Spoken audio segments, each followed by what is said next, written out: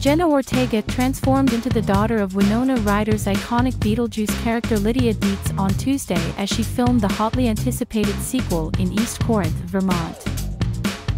The 20-year-old actress was seen wearing a distressed, striped sweater dress and black knee-high. The Wednesday star had a serious expression on her face as she rode her bike down Main Street in the same original town with the instantly recognizable red bridge from the 1988 Tim Burton cult classic.